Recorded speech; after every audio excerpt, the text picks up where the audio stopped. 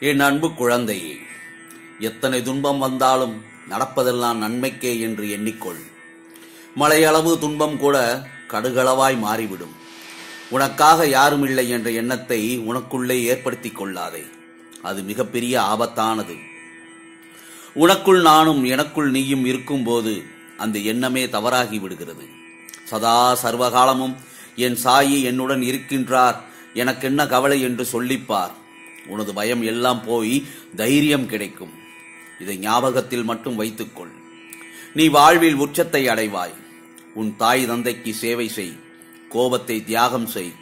சாதிக்க ஆசையா? அப்படியானால் அவமானப்பட கற்றுக்கொள். உன் வாழ்வில் நான் நட்சத்திரமாக வந்த பிறகு நீ ஏன் கவலைப்படுகிறாய்? நானே உன் வாழ்வை ஒளிர வைப்பேன். நீ நிம்மதியோடு இரு. எது நடந்தாலும் அது என்னால் நடக்கின்றது என நீ பொறுமையாக இரு. எல்லாம் கூடிய விரைவில் முடிவுறும். அதுவரை உன் சாயப்பாவின் மேல் நம்பிக்கை வைத்து சற்று பொறுமையாக இரு. உனக்கான நற்பலன் உன்னிடம் வந்து சேரும். உன்னை யாராவது இழிவாக பேசினாலோ கீழ்த்தரமாக நடத்தினாலோ உன்னை பற்றி இல்லாததும் பொல்லாததுமாக சொன்னாலோ நீ அவர்களிடம் போய் சண்டை போடாதே.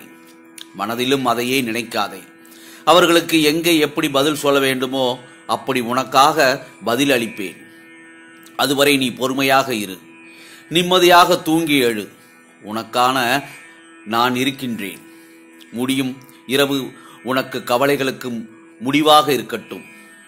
வளரும் காலை உன் மகிழ்ச்சிக்கு ஆரம்பமாக இருக்கட்டும். உனக்கான காலத்தை நான் உருவாக்கி விட்டேன் இன்னும் சில நாட்களில் அதில் பயணம் செய்யப் போகிறாய். உன்னை கண்கலங்க விட மாட்டேன் உன்னை உயர்ந்த நிலைக்கு மாற்றுவேன். நீ கண்கலங்கினால் என் மனம் வலிக்கின்றது. உன் அம்மாவாக அப்பாவாக நான் இருப்பேன். யாரிடமும் கேட்டு கிடைக்காத பொருள் சாயிடம் கேட்டால் நிச்சயம் கிடைக்கும் என்பதை முழுமையாக நம்பு. ஏன் உனக்கு இந்த அழுகையும் கலக்கமும்? உன் சோதனை காலம் முடிந்து விட்டது நீ வாழ்க்கையின் உச்சத்தை தொட்டபின் தான் நிம்மதி பெருமூச்சு விடுவாய்.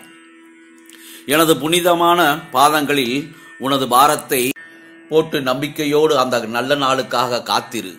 அது விரைவில் மிகப்பெரிய ஆசீர்வாதத்துடன் உன்னிடம் வந்து சேரும்.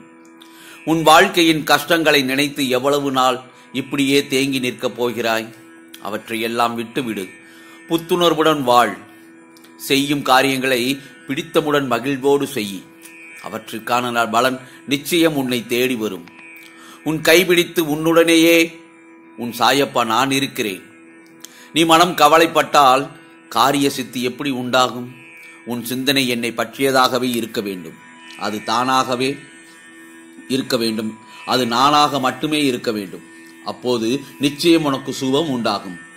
பிறர் துன்பம் கண்டு மகிழ்வது மகாபாவம்.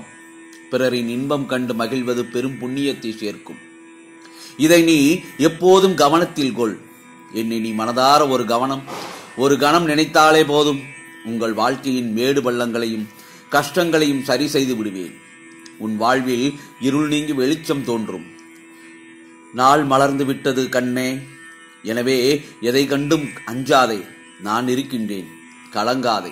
துன்பங்கள் விலகி இன்பங்கள் பெருகிட இந்த நாள் இனியதாக இருக்கட்டும். திரும்பவும் சொல்கிறேன். முடிந்த இரவு உனது கவலைகளுக்கு முடிவாக இருக்கட்டும். இன்று மலர்ந்த காலை உன் மகிழ்ச்சிக்கு ஆரம்பமாக இருக்கட்டும். ஆம்.